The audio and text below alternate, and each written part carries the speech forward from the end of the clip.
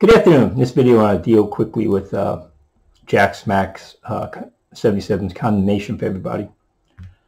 Uh, and he has a video up there and he says, uh, do I condemn everybody to hell? And he has a whole list of heresies that people involved in. He also has with the gospel is 1 Corinthians 15, uh, 3 and 4, interestingly enough. I'll link you to it. It's only a two minute video.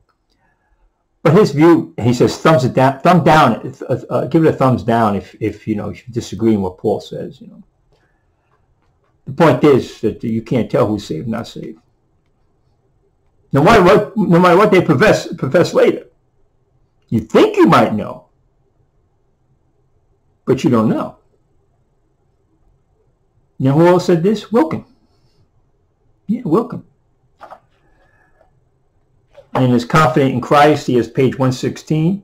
He says, quite a few Lordship Salvation pastors and theologians testify that at one time they believed in the free grace gospel.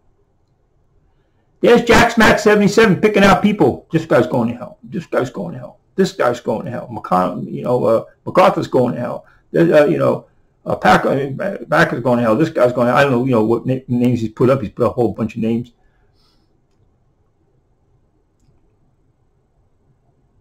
But if you read it, they've actually said that one time they were free graces.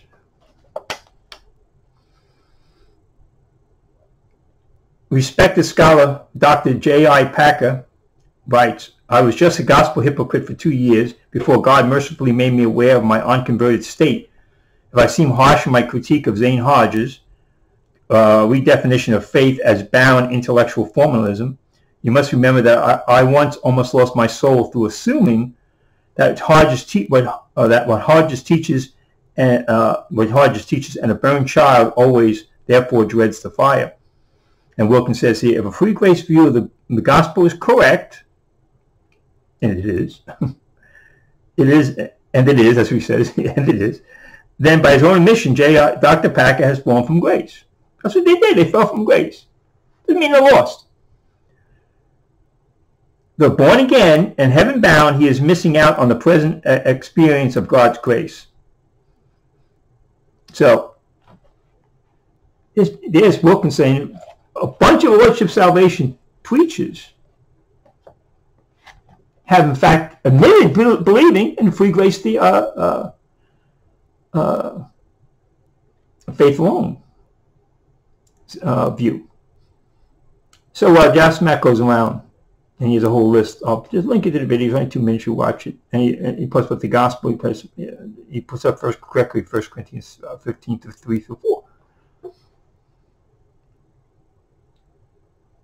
But that's the issue.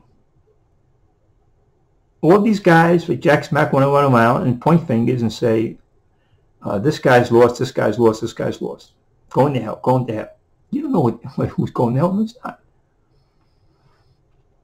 You don't know. So stop pretending you do.